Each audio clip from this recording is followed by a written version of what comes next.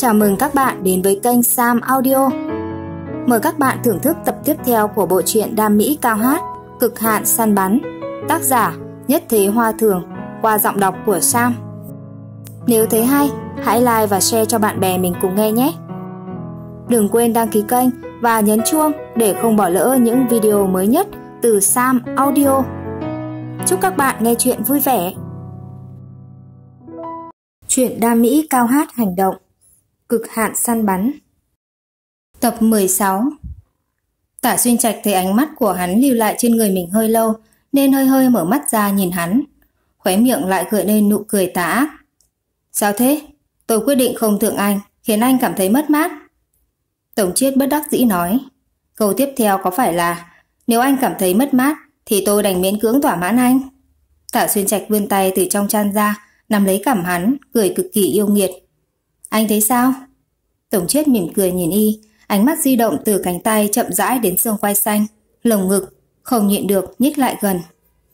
Cảm giác da thịt kề cận khiến hắn cảm thấy thoải mái. Hắn kéo tay y xuống, cúi đầu hôn y. Nụ hôn thực nghiêm túc mà cũng rất cẩn thận, khiến khí tức của chính mình từng bước, từng bước xâm nhập cơ thể y, ôn nhu mà triền miên.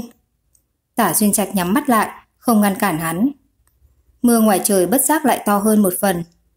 Bên tai còn có thể nghe thấy tiếng mưa đánh vào cửa sổ. Dần dần, cả thế giới dường như chỉ còn mỗi thanh âm này, tựa như đêm đó. Nhưng khác với lần trước, y vươn tay ôm lấy cổ Tống Chiết, làm nụ hôn sâu hơn, cảm thụ độ ấm từ trên thân thể người này truyền đến. Đáy lòng cực kỳ bình thản. Lần mưa rơi này là khác biệt. Bở môi Tống Chiết chậm rãi trượt xuống vành tai y, không ngoài ý muốn, khi, khi thấy người dưới thân hơi run lên, hắn thấp giọng nói Tôi muốn em, làm sao bây giờ? Tả xuyên trạch đẩy hắn ra không chút suy nghĩ. Tự mình phát tình thì đi tìm người khác, đừng tìm tôi. Tổng chiết thoải mái nắm lấy tay y, lại cúi xuống cắn lấy bờ môi y. Tôi chỉ muốn em, không cần người khác. Tả xuyên trạch nhìn con người của hắn gần trong gang tấc hỏi.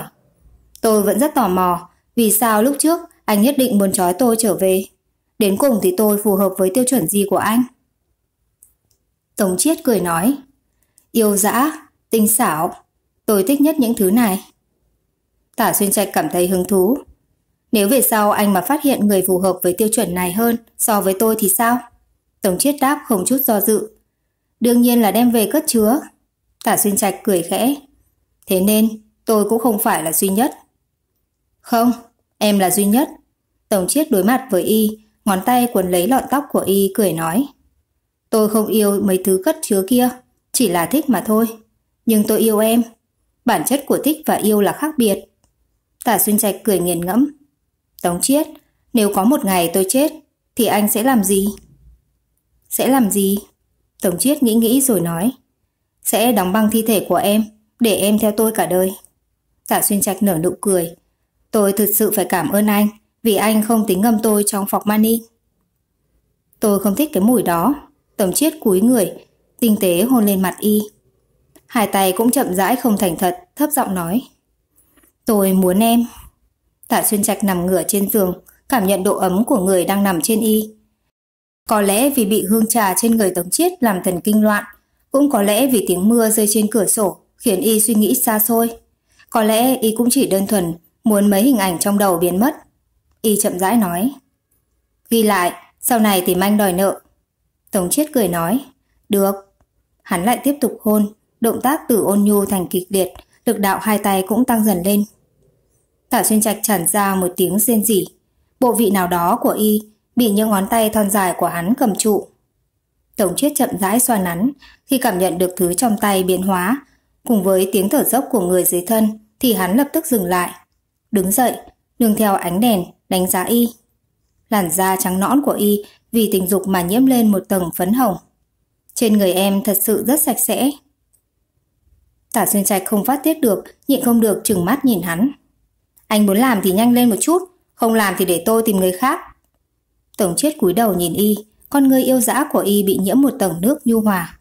Đôi môi vốn thiếu huyết sắc vì nụ hôn này đã hồng nhuận, hơn nữa trên xương quai xanh tinh xảo còn có một hôn ngân. Em chính là tai họa. Tổng chiết thấp giọng lẩm bẩm nói. Mặc kệ bản thân mình trầm luôn. tiếng dân rỉ nhu mị cùng tiếng thở dốc, còn có tiếng chuông thanh thúy vang lên. Trước khi phóng thích, Tống Chiết gắt gao ôm chặt lấy y, ghé vào tai thấp giọng nói. Kỳ thật, em cũng có thể tin tưởng tôi một chút, tôi sẽ không để em lại một mình. Tả xuyên trạch thở hổn hển, đầu óc trong chốc lát trống rỗng. Hình ảnh cũng không còn xuất hiện nữa. Y hít một hơi thật sâu, giật mình khi nghe được tiếng người này nói. Còn chưa kịp đáp lại thì Tống Chiết đã ôm Y ngồi lên. Lưng dán vào lồng ngực hắn, lại bị hắn ấn eo ngồi xuống. Tống Chiết! Tả xuyên trạch thở phì phò. Anh không được tiến vào thêm. Ân! Y còn chưa nói xong thì bị Tống Chiết đè xuống. Nơi mẫn cảm nhất bị va chạm khiến Y không khỏi run rẩy. Tống Chiết hôn lên cổ Y, đột nhiên cảm thấy hứng thú hỏi. Nếu tôi chết thì em sẽ làm gì? Đốt pháo, tả xuyên trạch khùng tợn nói. Ăn mừng. Tống Chiết than nhẹ một tiếng. Không lương tâm. Rồi hôn môi Y. Tả xuyên trạch bị hắn khơi mào tình dục, cũng ôm lấy cổ hắn kịch liệt hôn, tựa như bọn họ thực sự yêu nhau. Nhưng Tống Chiết lại biết, người luôn luôn cường thế này chỉ muốn bấu lấy một cái gì đó ngay lúc này mà thôi, tựa như một người bị ngâm trong nước. Tuy vốn đã quen với việc bị ngập, nhưng khi nhìn thấy một cọng rơm trôi qua, y sẽ vẫn không nhịn được mà bắt lấy. Đây chỉ là thử, nhưng y vĩnh viễn cũng sẽ bắt lấy tia hy vọng dãy ruộng đến cùng. Y tình nguyện vĩnh viễn xa vào thứ không khí thác hy vọng đến người khác. Có lẽ y đã từng tin tưởng Hắc Yến. Có lẽ trừ gã ra thì y cũng không tin tưởng ai cả. thành âm ái muội kéo dài đến tận nửa đêm mới ngừng. Cuối cùng, Tả Xuyên Trạch lại hôn mê bất tỉnh. Tống Chiết sau khi thanh tẩy sạch sẽ cho y xong thì mỹ mãn ôm y đi ngủ. Ngày hôm sau, Tống Chiết tỉnh lại rất sớm. Tạ Xuyên Trạch còn chưa tỉnh. Hắn cúi đầu nhìn một lúc lâu rồi cẩn thận đứng dậy rửa mặt, mặc quần áo. Chờ khi làm xong tất cả rồi mà người vẫn còn đang ngủ. Tống chết nghĩ nghĩ, nhớ lại hôm qua trước khi ngất, người này có dấu hiệu muốn trở mặt nếu để y tỉnh lại, có lẽ hai người sẽ phải đánh nhau một trận lưỡng bại câu thương. Vì trung quy thì người này tối hôm qua đột nhiên não chịu không có nghĩa là hôm nay y tiếp tục não chịu. Bởi vậy, hắn phải suy xét đến một quyết định không mấy phúc hậu cho lắm. Đó chính là để y lại một mình. Đương nhiên, trước khi đi, hắn không quên gọi điện cho thủ hạ của y, rồi mới vừa lòng rời đi. Tài xế vẫn cung kính ngồi ở ghế điều khiển chờ hắn lên tiếng. Sau khi Tống Chiết gọi điện thoại phân phó chuyện cho thủ hạ xong xuôi, rồi mới nói. Tới bến tàu, trở lại đảo, rồi bay tới châu Âu. Vâng. Bởi vậy nên đợi đến khi Tả Xuyên Trạch tỉnh lại trong tình trạng eo đau lưng nhức mỏi, thì cái kẻ đầu sỏ hại y ra nông nỗi này đã biến mất vô tung vô ảnh. Tả Xuyên Trạch nghiến răng nhìn căn phòng trống rỗng, một lúc lâu sau mới hậm hực nhả ra hai chữ. Khốn khiếp! Y xoa eo đứng dậy rửa mặt, chờ đến khi thu thập xong thì mở cửa phòng chuẩn bị ra ngoài.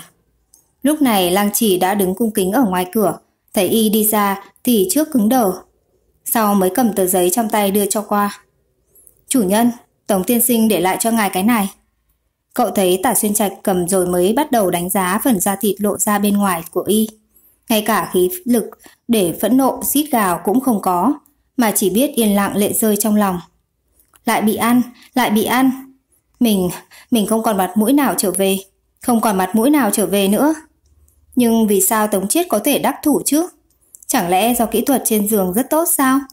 Làng chỉ sau vài lần chết lặng, cuối cùng cũng có gan đi suy đoán. Tả xin trạch đương nhiên không biết thủ hạ của mình đang y y cái gì. Nếu biết thì nói không chừng, thời điểm y giải quyết Tống Chiết cũng sẽ đem cậu ta giải quyết luôn, rồi đem chôn hai người cùng nhau, khiến cậu tự mình thể nghiệm kỹ thuật của Tống Chiết. Y nhìn tờ giấy, Phía trên là một hàng địa chỉ, phía dưới còn viết nơi đó có đặt một bộ quần áo dành cho y. Y nghĩ nghĩ, nhớ lại hình như Tống Chiết từng nói qua muốn giới thiệu một đại sư theo cho y. Y vẫn còn hứng thú với chuyện này lắm, vì dù sao hiện tại không có gì để làm. Y ném tờ giấy cho lang chỉ, ra lệnh. Đi chỗ này. Vâng, lang chỉ ngừng y y trong đầu, cung kính theo sau y ra khỏi khách sạn. Nửa giờ sau, Lang Chỉ ngồi run cầm cập ở trên ghế điều khiển, tay xoa xoa mắt mình, rồi lại nhìn xuống địa chỉ trong tay, ngẩng đầu lên nhìn cửa hàng. Trước mặt rồi lại xoa xoa mắt một lần nữa, run run rẩy rẩy quay đầu. "Chủ nhân, chủ nhân, đến đến..." Tả Xuyên Trạch xuống xe đi về phía cửa hàng. Lúc này y mới ngẩng đầu nhìn bảng hiệu, khi nhìn thấy mấy chữ cửa hàng đồ liệm thì bước chân của y hơi ngừng lại, nhưng vẫn tiếp tục đi vào. Chủ cửa hàng là một lão nhân 60 tuổi, thấy y vào thì lập tức khom lưng, cầm một bộ quần áo đưa qua. Tiên sinh, quần áo mà ngài muốn. Tả xuyên trạch cứng đờ trong chớp mắt, vươn ra hai ngón tay, mở nó ra nhìn xem. Mặt trên quần áo thêu hoa văn cực kỳ tinh xảo, nhưng y nhìn bộ quần áo liệm trước mặt y có cảm giác mình lại bị Tống Chiết đùa giỡn. Lý do chính là để trả thù bộ trang phục MS lần trước. Lão nhân kia thấy y đang ngắm nghía quần áo thì tiếp tục đi làm chuyện khác, rồi sau đó đi ra cửa sau. Một chuỗi thanh âm động cơ không ngừng vang lên. Hơn nữa, thanh âm này càng lúc càng xa. Bởi vậy, khi Tả Xuyên Trạch hồi thần lại, thì gian cửa hàng này lại chỉ còn một mình y là người sống. Thủ hạ của y, Lang Trì vẫn đứng ở ngoài cửa, đúng hơn là nằm sấp trên khung cửa, chỉ lộ ra đôi mắt nhìn vào trong, run cầm cập không dám tiến vào. Tả Xuyên Trạch trầm mặc một lúc lâu mới chậm rãi phun ra hai chữ. Khốn khiếp! Y định ném bộ quần áo kia, rồi đi ra ngoài, nhưng bước chân vừa tới cửa thì lại dừng lại. Trong đầu vang lên thanh âm ôn nhu của Hắc Yến. Trạch, tôi để lại trong người cậu một quả bom. Những lời này đã treo theo y rất nhiều năm, tựa như một lời nguyền rủa từng tầng lớp lớp, thâm nhập vào thân thể. Dần dần trở thành ác mộng, một ác mộng bản thân tùy thời điểm sẽ chết. Y lại nhịn bộ quần áo kia, cuối cùng cầm nó rồi nhàn nhã đi ra ngoài. Trước khi lên xe còn tựa người vào cửa xe gọi điện thoại. Lúc này Tống Chiết vừa rời khỏi du thuyền trên đảo. Nhận được điện thoại thì cực kỳ vui vẻ. Tỉnh rồi. Đã sớm tỉnh. Tả xuyên trạch dựa vào cửa xe, ném bộ quần áo trong tay cho lăng chỉ, nãy giờ còn đang kinh sợ rồi nói. Tống Chiết. Ừ, về sau nếu có đóng băng tôi thì không cần mặc bộ hồng y này cho tôi. Tả xuyên trạch ác liệt nói. Để tôi mặc bộ áo liệm, đó đi. Đầu dây bên kia tĩnh lặng trong chốc lát mới chuyển đến thanh âm thở dài của Tống Chiết. Em thật tàn nhẫn. Người này muốn mỗi khi hắn nhìn thấy y, lại nhìn thấy bộ áo liệm trên người y, khiến hắn phải chấp nhận một sự thật là y đã chết, khiến hắn không thể nằm mơ hoặc lừa mình dối người rằng y vẫn còn sống. Đối với một người yêu y mà nói, thì làm như vậy chẳng khác nào là một chuyện cực kỳ tàn nhẫn. Ai bảo anh làm tôi không thoải mái? Tả xuyên trạch cười cực kỳ khoái trá. Cứ thế đi, anh đừng quên là được. Cúp máy đây. À, đợi đã. Nếu hàng năm có hóa vàng cho tôi, nếu anh có thể mặc bộ quần áo SM kia, thì tôi chết cũng sáng mắt. Y nói xong liền cúp máy, cực kỳ vui vẻ rồi ra lệnh. Đi, trở về Phùng Ma, chúng ta đi châu Âu thôi. Làng chỉ kinh sợ nhìn áo liệm trong tay khóc thút thít. Vâng. Cả xuyên trạch lại nhìn sang hàng kia, bỗng nhiên nói. Ừ, trở về tìm người sửa sang lại cửa hàng này, sửa thành bán khóa trường thọ. Ta muốn tích đức một chút. Làng chỉ lại nhỏ giọng đáp. Vâng. Mà ngay lúc này, ở sân bay quốc tế thành phố S, tại chuyến bay đi châu Âu, một đám đông fan đang nhìn thấy người đại diện nào đó đang bóc cổ minh tinh. Hơn nữa, thời gian bóc cổ cũng khá lâu. Tả An Tuấn, người đại diện kia nhỏ giọng, nghiến răng nghiến lợi gầm nhẹ. Lần sau cậu còn như vậy, thì sớm muộn gì tôi cũng chết trên tay cậu. Trước khi cậu hại chết tôi, thì không bằng trước hết tôi giết cậu. Ngao, ngao, tôi muốn đồng quy vu tận với cậu. Sắp chết, thật sự là sắp chết. Buông, buông tay. Mà người bên cạnh bọn họ, lão đại tổ chức hộ vệ toàn cầu, đang đồng dạng bị một đám fan vây xung quanh, mặt cực kỳ bình tĩnh nhìn hai người đang động kinh phía trước, lại nhìn đối tượng nhiệm vụ của bọn họ đang bị bóc cổ trắng trợn, mắt nhịn không được, muốn vỗ chán. Tả anh Tuấn này làm thế nào mà có thể đánh lạc hướng thủ hạ của mình khi trước? Mau, mau buông tay. Không buông, hôm nay lão tử phải bóp chết cậu. Phi cơ màu bạc chở ba người, tâm tình khác nhau hướng về phía châu Âu. Nhân sinh có bốn chuyện vui. Một trong số đó là tha hương gặp bạn cũ. Đương nhiên chuyện này cũng phải phân trường hợp. Tỉ như ở đại hội đấu giá châu Âu này, gặp nhau thì chẳng phải là chuyện tốt đẹp gì. Tống chết nghĩ, người này không phải là đuổi theo hắn đến tận đây để trả thù chứ. Tả xuyên trạch thì nghĩ, người này chẳng lẽ còn muốn tiếp tục theo đuổi một cách nhàm chán, chạy đến tận đây để hẹn hò với y sao? Muốn chết sao? Bởi vậy, hai người nhìn nhau, một lúc lâu mà một câu cũng không nói. Trong hội trường điều hòa chạy ấm mát, mà nơi đây lại gió lạnh từng trận. Thủ hạ đôi bên gấp đến độ, phát điên. Tôi nhìn anh, anh nhìn tôi, không biết làm sao. Hai người định xông lên ôm hôn hay là đánh nhau, anh chết tôi sống. Ngào ngào ngào đến cùng là muốn thế nào? Hai người phản ứng một chút gì đi à? Cuối cùng, người đánh vỡ không khí trầm mặc vẫn là Tống Chiết. Hàn nhíu mày. Cái sinh vật không rõ kia, sao lại không đi cùng em? Hòa Anh Túc ở tam giác vàng vào kỳ thu hoạch. Tả Xuyên Trạch nói, anh ta ngay lúc anh đưa thư tình đã trở về. Bằng không anh nghĩ hôm đó tôi và anh đi ăn cơm với nhau, anh ta sẽ không tới sao? Tống Chiết cười gật đầu, rốt cuộc mới hỏi vào vấn đề trọng điểm. Vậy em tới đây làm gì? Tôi nhớ không lầm, nơi này là đấu giá công ích, phần lớn đều là hàng từ thiện, chỉ có một số ít chân phẩm. Đến chơi, tả xuyên trạch nhớn mày, ngược lại là anh, anh tới đây làm cái gì? Trong số ít chân phẩm kia có một bức họa tôi thích, nên tôi đến. Tống Chiết ngồi xuống chỗ ngồi, dường mắt nhìn xung quanh. Để đạt được mục đích từ thiện trận đấu giá này, mời rất nhiều minh tinh nổi tiếng. Tầm mắt của Tống Chiết chợt dừng lại ở giữa người nào đó, ở phía xa xa, rồi quay đầu lại nhìn Tạ Xuyên Trạch. Em đừng nói cho tôi biết là em vì cậu ta mà đến đây. À, để tôi nghĩ xem xem. Hắn trầm ngâm một lát nói. Em vài năm liên tục không thấy cậu ta, nhưng sau khi Hắc Yến xuất hiện, em lại đến đây. Là vì Hắc Yến sao? Người này vẫn luôn thực thông minh. Tả Xuyên Trạch nhìn hắn một cái rồi nói. Gần đây Hắc Yến đang đánh chủ ý lên cậu ta. Tuy rằng tôi không biết ông ta định làm cái quái gì, nhưng tôi đoán chắc không có chuyện gì tốt. Tống Chiết gật đầu cực kỳ lý trí.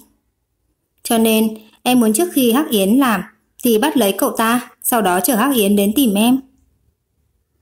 Tả xuyên trạch khẽ cười, ừ một tiếng. Con người đen như mực nhìn phía xa xa. Tôi ban đầu là nghĩ như vậy. Bọn họ ngồi ở nơi góc khuất. Tống Chiết luôn luôn rất bể bộn, thích ẩn ở sau màn, nên người trong giới gặp qua hắn kỳ thật rất ít, mà Toàn Xin Trạch lại luôn kiêu ngạo.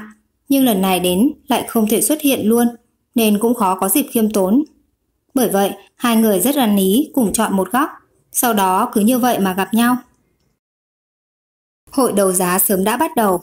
Tả Xuyên Trạch nhìn bộ trang phục cổ của một bộ lạc chưa khai hóa, vừa mới được phát hiện, mà người gọi giá là người đó, chậm rãi lặp lại một lần. Tôi ban đầu chỉ tính như vậy. Tổng chết nhìn theo ánh mắt đi, người kia hình như rất thích bộ quần áo kia, nhưng có một phú thương cũng thích nó. Hai người đang không ngừng tăng giá. Hiện tại đã là cao đến mức không tưởng. Người kia thấy thế lại muốn ra giá thêm, kết quả bị người nào đó bên cạnh đè miệng áp xuống. Mà kệ cậu nói cái gì, dãy ruộng thế nào cũng không buông tay. Tống chết nhẹ nhàng cười. Mặc cho ai nhìn đến cũng không thể tưởng tượng. Cậu ta từng có một đoạn quá khứ máu tanh khủng bố. Rõ ràng là ở trong hoàn cảnh như vậy, đi ra, nhưng lại sạch sẽ, thuần túy như một đứa trẻ. Hắn biết đối với tả xuyên trạch mà nói, người trước mắt là người đã đào thoát từ trong thế giới hắc ám của Y và Hắc Yến. Bởi vậy, Y không nghĩ, khiến cho cậu ta dây dưa trở lại. Nhưng nếu tôi không làm thì Hắc Yến sẽ làm. Tả xuyên trạch nhìn người kia. Tuy rằng thời gian tới lúc Hắc Yến hành động còn một năm, nhưng ai biết cái kẻ biến thái kia có động thủ trước hay không? Huống chi, hiện tại ông ta đã chuẩn bị ra tay rồi. Tống chết cười quay đầu nói, cho nên em muốn thế nào? Tạ Xuyên Trạch cũng nhìn hắn. Phải làm thế nào thì anh mới nói cho tôi nơi ẩn thân của Hắc Yến. Em muốn giải quyết Hắc Yến trước để ông ta không có cơ hội động thủ. Như vậy cũng không dính dáng đến người này nữa. Tống chết cười nhẹ nói. Nhưng tôi bây giờ cũng không biết Hắc Yến ở đâu. Tôi còn đang chờ thủ hạ liên lạc. Tôi quả thật muốn giải quyết Hắc Yến, nhưng cho dù thế nào thì người kia cũng bị liên lụy. Con người đen như mực của tả xuyên trạch sâu không thấy đáy, nhìn người nọ đang cáu kỉnh ngẩng đầu nói. Lấy thẻ vàng của Phùng Ma, đi mua lại bộ quần áo kia. Nói với gã là ta muốn dùng thẻ vàng để đổi lấy bộ quần áo đó. Sau đó đem nó đưa cho cậu ta. Đừng nói là ta đưa. Nếu có thể đưa ra giá lớn như vậy để mua bộ quần áo rách nát, thì nhất định phú thương kia không đơn giản. Nên gã nhất định đã nghe qua danh tiếng của Phùng Ma, cũng biết được kết cục của việc đắc tội với Phùng Ma. Quần áo và mạng sống, cái nào quan trọng hơn? Đáp án rất rõ ràng. Vâng. Ánh mắt tả xuyên trạch lại nhìn ra xa. trầm mặc một lúc sau mới tiếp tục đề tài ban nãy. Hắc Yến cho thứ gì đó bên trong cơ thể cậu ta. Hơn nữa mấy thứ đó phát tác khi cậu ta đến ngày sinh nhật 20 tuổi. Đôi mắt sách thanh lãnh của Tống Chiết chợt lóe lên ánh sáng. Quay đầu nhìn y, Tả Xuyên Trạch thu lại ánh mắt, nhìn thẳng vào hắn, khóe miệng gợi lên một nụ cười diễm lệ mà tàn nhẫn. Khi tôi 16 tuổi, Ngày đó một buổi tối, tôi đã giết rất nhiều người. Từ đó về sau, trưởng khống phùng ma. Mà theo như những gì tôi biết, thì thứ trong người cậu ta phát tác còn khủng bố hơn so với tôi. Tả xuyên trạch chỉ vào người phía xa, chậm rãi nói. Đến lúc đó sẽ chết rất nhiều người, dù cho cậu ta không muốn. Cho nên dù tôi giết Hắc Yến, thì cậu ta vẫn sẽ bị liên lụy vào. Tống chết nhìn y. Thứ trên người em rốt cuộc là cái gì? Tả xuyên trạch nhẹ nhàng nở nụ cười. Nếu tôi biết thì đã không phiền não nhiều năm như thế. Anh có thể đi hỏi Hắc Yến xem. Hỏi xem ông ta có thể nói cho anh hay không. Y nói xong câu đó thì không nói nữa. Hưng Chí nâng cầm, nhìn người đang khóc lóc om sòm, lăn lộn phía xa. Một lúc lâu sau mới nói. Trước kia cậu ta biểu tình không phong phú như bây giờ. Tả An Tuấn hiện tại rất bực bội, cậu chỉ là coi trọng một bộ quần áo muốn mua về nhà, lại bị người đại diện bịt miệng. Tổ tông à, cậu là tổ tông của tôi. Cậu có biết cái giá hiện tại đã là bao nhiêu không? À, ngoan, nghe tôi nói, trở về tôi mua vài cái bao tải, vài cân xương, mày cho cậu là được. Có được không?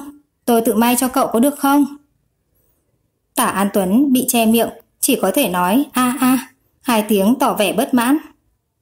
Cái người đại diện kia không hề để ý đến ánh mắt oán giận của người kia. Đợi đến khi trên đài võ thành giao mới buông cậu ta, cảm khái nói. Hội trường đấu giá này thật xa hoa a. Tiếp đó, nhìn thoáng qua tình cảnh vội xông đến, kéo người đang chuẩn bị trượt ra khỏi ghế lên, nhỏ giọng nói. Tổ tông, hiện tại cậu đang ở bên ngoài, ở bên ngoài đó, chú ý hình tượng của cậu, hình tượng a. Tả An Tuấn không được thỏa mãn thần tình tối tăm. Thẩm nghĩ muốn ngồi xổm trên đất chọc kiến, nhưng người đại diện lại không cho, nên cậu chỉ có thể ngồi ai oán trên ghế, nhìn ai cũng oán hận. Vị lão đại nào đó ngồi cạnh, lạnh mặt nhìn. Người này chỉ vì một bộ quần áo mà ngưu ích, ra giá giờ lại còn nằm trong góc hẻo lánh tội nghiệp nhìn hắn. Tôi hết tiền rồi. Thỉnh không nổi bảo tiêu, thật sự đấy. Anh đi đi thôi. Đương nhiên nếu anh muốn ở lại cũng được. Hắn lạnh mặt nhìn cậu. Cậu đừng có nhờ người ta làm không công cho mình một cách hợp lý hợp tình nữa có được không? Ai nói là không công? Cậu chừng mắt. Tôi bao ăn bao ở còn gì? Anh bất mãn cái gì nữa? Làm người phải biết thế nào là đủ chứ. Hiện tại tìm việc không dễ dàng gì. Có thể tìm đến công việc bao ăn ở càng khó hơn. Cậu ra vẻ đạo mạo. Người trẻ tuổi muốn làm việc đơn giản mà kiếm nhiều tiền là không được. Anh trai nói rồi. Trung Quốc là vì có những người như anh mới không cường lên được. Đúng, anh của cậu. Vị lão đại nào đó mặt lạnh nhìn cậu. Trước khi đến, hắn đã tra xét người này một lượt. Tư liệu trước đó không thể tra được gì. Những gì có thể tra được chỉ từ khi người này được một người nhặt về nhà. Khi đó cậu ta là một tờ giấy trắng, cái gì cũng không hiểu. Căn cứ theo khoa học, thì vị anh trai nhặt cậu về có ảnh hưởng rất lớn. Vị lão đại nào đó hoàn toàn tin tưởng người này tạo thành tính cách hiện tại cũng có quan hệ rất lớn đến người anh trai kia. Người kia tuyệt đối cũng cực phẩm không kém. Cho nên nói, nếu không phải trước kia tra được anh trai kia bị nổ tung, thì cốt không còn, thì bây giờ hắn cực kỳ muốn tiên thi. Tra tấn thi thể đó. Đương nhiên, tiền đề là hắn cũng không biết người kia còn sống. Hiện giờ đang nằm một hòn đảo tư nhân của Tống Chiết, chỉ là còn chưa thoát khỏi thời gian nguy hiểm mà thôi. Tiên sinh, ngay khi tả An Tuấn đang thất vọng nằm trên ghế, thì một thanh âm vang lên ngay trên đỉnh đầu, khiến cả ba người cùng ngẩng đầu lên. Bọn họ thấy một người trẻ tuổi, mặc tây trang đen, tay cầm một cái hộp. Thấy bọn họ nhìn lại thì cung kính đưa qua. Đây là lão bản nhà tôi đưa cho ngài, làm ơn nhận lấy. Nói xong mở nắp hộp, bên trong rõ ràng là bộ quần áo kia. Ánh mắt tạ An Tuấn phát sáng, ngay lập tức vồ lấy ôm vào ngực, cười nói. a cảm ơn. Người nọ gật gật đầu rời đi. Cậu nói phú thương kia tranh giá nửa ngày, chỉ để tặng cho cậu sao? Người đại diện nói nhỏ, gã coi trọng cậu sao? Này, cậu có nghe tôi nói không đấy? a Tả An Tuấn bị lôi từ trạng thái cười ngây ngô trở lại. Ai biết, anh trai nói chỉ cần không phải là mình bỏ tiền ra mua thì không cần cũng phải cầm. Cậu nói xong thì đứng dậy, kết quả bị người đại diện ấn trở lại. Tả An Tuấn, người đại diện nhìn cậu. Cậu đừng nói với tôi là cậu muốn mặc bộ quần áo ăn mày này. Đúng vậy, Tả An Tuấn chớp mắt vô tội. Không được sao? Không được. Người đại diện thiếu chút nữa nhảy lên. Cậu có nhớ là lát nữa còn tiệc tối hay không? Cậu có biết giờ cậu là người của công chúng không a? Cậu muốn mặc bộ quần áo ăn mày này? Tả An Tuấn tiếp tục chớp mắt. Tôi mặc chút lát thôi, đến tiệc rồi tôi lại cởi ra. Không được, ai biết được trong lúc đó cậu lại làm chuyện gì. Người đại diện nhìn ánh mắt sáng như sao của cậu, lập tức bi phẫn. Cầu cứu người vẫn đang ngồi lạnh nhạt thở ơ bên cạnh. Duẫn Mạch, anh đem thứ này về khách sạn được không? Chẳng lẽ lát nữa anh muốn nhìn cậu ta mặc thứ này? Lão đại tổ chức bảo tiêu toàn cầu Duẫn Mạch tự hỏi một hồi, trực giác cho biết nếu quả trứng ngu ngốc này mà thật sự thay bộ quần áo này thì hắn cũng sẽ mất mặt, nên phá lệ nói một tiếng, ừ, đứng dậy không chút lưu tình đoạt lấy cái hộp từ tay Minh Tinh, rồi đi thẳng không quay đầu lại. Tả An Tuấn lại bị người đại diện ấn xuống ghế cho đến khi thân ảnh của Duẫn Mạch hoàn toàn biến mất, mới bỏ ra.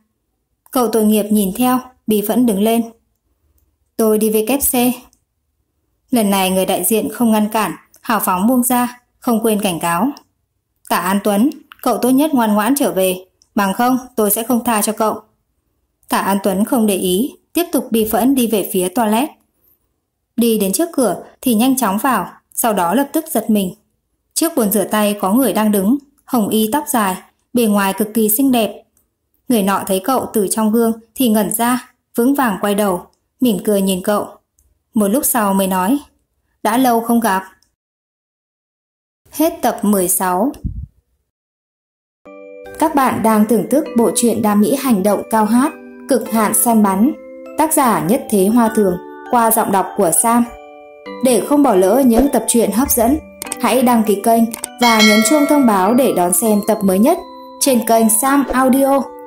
Nếu bạn yêu thích bộ truyện này thì đừng quên nhấn like và share video cho nhiều người cùng xem nhé.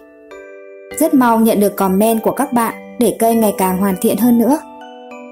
Xin chào và hẹn gặp lại các bạn ở những video tiếp theo.